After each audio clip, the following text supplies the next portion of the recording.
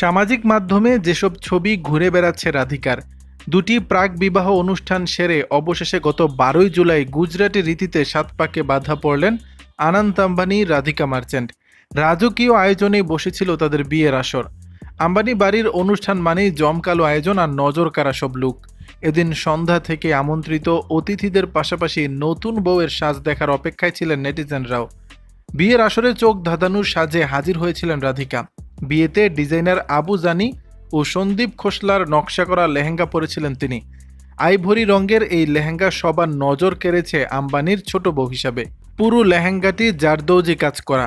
Gujarati traditional কনের আদলে সাদা লালের ছোঁয়া আছে তাতে। ড্রিপিং করার জন্য একাধিক ওড়না ব্যবহার করা হয়, যা করেছেন জনপ্রিয় শাড়ি ড্রেপার ডলি জেইন।